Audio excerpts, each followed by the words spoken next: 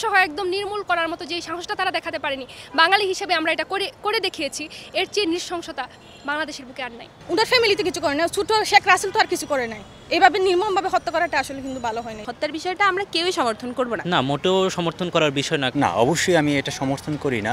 এটা তো কোনোভাবেই সমর্থনযোগ্য না। আমার বাবা বঙ্গবন্ধু শেখ মুজিব কোনোদিনই বিশ্বাস করতে পারেননি যে এই বাঙালি কেউ তাকে হত্যা করতে পারে। পনেরো আগস্ট উনিশশো পঁচাত্তর। বাংলার আকাশ, বাতাস আর প্রকৃতিও অশ্রুসিক্ত হওয়ার একটি দিন। পঁচাত্তরের এই দিনে বঙ্গবন্ধুর রক্ত আর আকাশের মর্মছেরা অশ্রুর প্লাবন একাকার হয়ে যায়। সুবে সাদিকের সময় ধানমন্ডির বত্রিশ নম্বরে নিজ বাসভবনে সপরিবারে বঙ্গবন্ধুকে বুলেটের বৃষ্টিতে ঝাঁঝরা করে দেয় ঘাতকরা। স্তম্ভিত পুরো দেশ স্তম্ভিত বিশ্ব। পৃথিবীতে আমরা যত ধরনের রাজনৈতিক নেতা বলেন বা হচ্ছে যে কোনো প্রবক্তা বলেন তাদেরকে যখনই ক্ষমতাচ্যুত করা হয়েছিল শুধুমাত্র তাদেরকেই ক্ষমতাচ্যুত করা হয়েছিল বা তাদেরকেই নির্মূলের চেষ্টা করা হয়েছিল।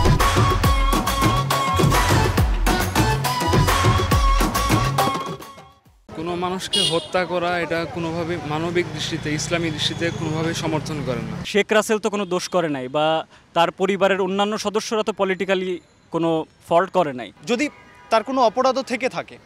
আমরা আমরা জানি না, যদি থেকেও থাকে, সেটা আসলে একটা ফর্মাল চ্যানেলে আসতে পারতো। এভাবে রাতের আধারে গিয়ে একটা মানুষকে তার বাড়িতে, তার পরিবার সহ, বাচ্চা, তার পরিবার সব যে হত্যা করা হয়েছে, এটা কোনোভাবেই আসলে মানা যায় না। ছোট শেখ রাসেল, সে তো নিষ্পাপ শিশু। একটা নিষ্পাপ শিশুকে তো কোনোভাবেই মানে কোনো মানুষ হত্যা করতে পারে না।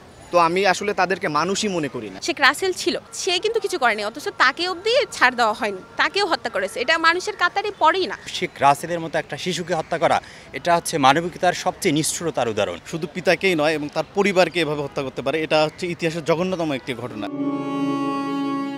একজন বাবা অন্তিম ক্ষণে শুনছিলেন তার প্রিয় ছেলের মৃত্যু সংবাদ। হয়তো শুনতে পেয়েছিলেন স্ত্রী, সন্তান ও পুত্রবধূদের আর্তনাদ একটা গোটা জাতিকে স্বাধীনতা উপহার দেয়া মানুষটির মনে তখন কি চলছিল জানা নেই কারও। কতটা হিংস্র, বর্বর হলে পরে এমন হত্যাকাণ্ডও সম্ভব?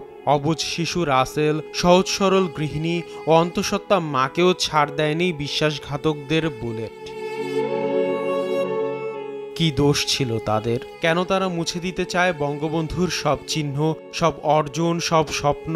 তারা ভেবেছে যদি কেউ কাউকে বাঁচিয়ে রাখা হয় তারা হয়তো বা ভবিষ্যতে তাদেরকে বিচারের আওতায় আনবে। মানুষ হিসেবে আমরা তাকে যে ফিডব্যাকটা দিয়েছি সেটা উনি কখনোই রিজার্ভ করতেন না। বঙ্গবন্ধুকে নিধনের পাশাপাশি তার পরিবারের কেউ যাতে কখনো বঙ্গবন্ধুর আদর্শ ধারণ করতে না পারে সেটা তারা ষড়যন্ত্র করে তাদের হত্যা করে হয়েছিল বঙ্গবন্ধুর পরিবার যাতে বাংলাদেশের যে অগ্রগতিতে অবদান যাতে না রাখতে পারে এবং বাংলাদেশ যাতে পিছিয়ে যায় স্বাধীনতা বিরোধীরা এটাই চেয়েছিল।